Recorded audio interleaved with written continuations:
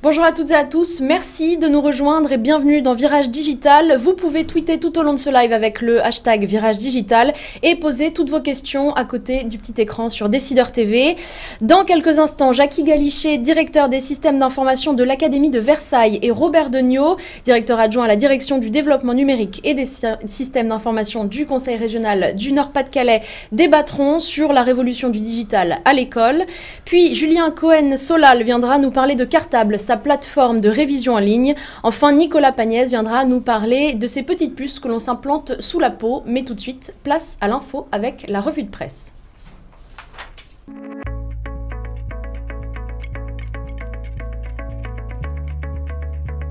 Sommaire de l'actualité numérique cette semaine, les nouveautés du salon de l'IFA 2015, les mesures prévues par la loi Le Maire sur le numérique et un piratage de Bugzilla qui a permis euh, d'attaquer des utilisateurs de Firefox.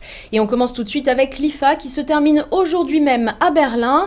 Il s'agit de la grand-messe européenne de l'électronique grand public. Alors au programme, six jours de conférences et de démonstrations pendant lesquelles les plus grands fabricants de high-tech viennent présenter leurs nouveautés. Alors les tendances restent sensiblement les mêmes qu'en 2015 2014 cette année. On a ainsi pu découvrir euh, les nouvelles générations de smartphones qui, dans l'ensemble, présentent peu d'innovations, hormis des grands écrans euh, et des plus grands écrans et des batteries qui vivent donc plus longtemps. Les montres connectées y sont également à l'honneur. On a pu y découvrir les smartwatches de Samsung, Motorola ou encore Huawei, euh, qui, pour se démarquer eh bien, de l'Apple Watch qui est carré, ont opté donc pour un, un cadran circulaire. Enfin, autre tendance qui perdure, l'habitat connecté, des portes qui s'ouvrent à distance des machines à laver qui peuvent être déclenchées depuis une salle de réunion ou encore des plantes qui, à l'aide d'un simple SMS, peuvent être arrosées à distance. Bref, une maison toujours plus connectée.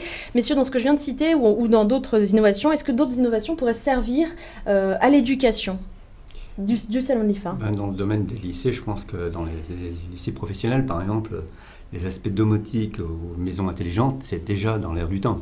Après, sur les, aspects mobilité, dans la région Nord-Pas-de-Calais, euh, ne serait-ce qu'à travers l'espace numérique de travail, les élèves ont accès à travers leur smartphone à leur environnement de travail et leur cahier de texte. Donc c'est déjà d'actualité aujourd'hui. Et à Versailles? C'est forcément euh, la même chose. L'éducation nationale est une grande famille. Et euh, effectivement, la taille des, smartphones, par exemple, des écrans, est un élément capital, puisque aujourd'hui, plutôt, c'est plutôt la tablette qui est favorisée.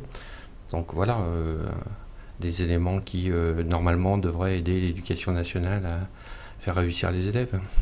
Alors l'autre info qu'il ne fallait pas louper, le projet de loi d'Axel Lemaire, secrétaire d'État chargé du numérique, qui prévoit d'organiser l'ouverture des données ou encore le droit à l'oubli pour les mineurs. Selon des informations du site spécialisé Next, Next Impact, cette loi devrait être baptisée Loi pour une République numérique et s'articulera autour de trois axes majeurs. Alors le premier, eh bien c'est l'open data. La loi visera à organiser l'ouverture des données dans l'Hexagone. La deuxième, c'est la protection des données personnelles. Chaque internaute, lorsqu'il réalisera une transaction ou une inscription sur un site euh, pourra réclamer une copie des données qui ont été collectées à son sujet. Enfin, l'accès pour tous au numérique avec ce texte, Internet devient un bien de première nécessité. Un droit à la connexion minimale devrait être assuré pour les personnes en difficulté. Messieurs, même question, est-ce que ça concerne, ça pourrait concerner l'éducation nationale, euh, ce projet de loi? Ah, Totalement.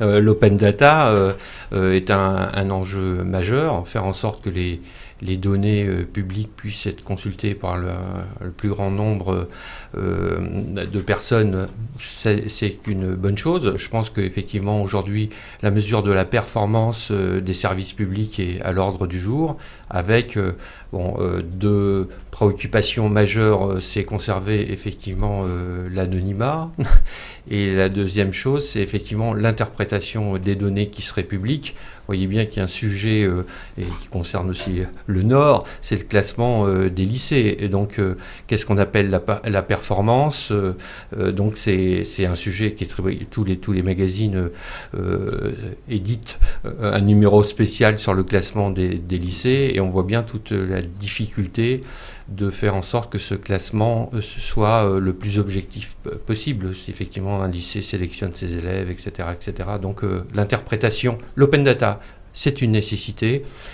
Et, effectivement, une grande prudence sur euh, son interprétation. Mais voilà, la transparence euh, de l'action publique me paraît être euh, On va, du bon sens. On va y revenir dans une minute, mais d'abord la dernière info, il s'agit du piratage de Bugzilla, le logiciel de suivi de bugs de Mozilla. Un hacker a réussi à accéder à la base de données et à voler des informations sur 53 vulnérabilités critiques, puis à les utiliser pour s'en prendre à des utilisateurs de Firefox. Selon l'enquête menée par l'éditeur, le piratage remonterait à septembre 2014, voire à septembre 2013. Ces infos sensibles concernaient la précédente version euh, du navigateur, corrigée dans la dernière mise à jour du logiciel, rassurez-vous. Firefox a donc décidé de mieux protéger sa plateforme et a recommandé aux utilisateurs de mettre à jour leur dernière version. Voilà pour le rattrapage de l'info et on passe tout de suite au débat.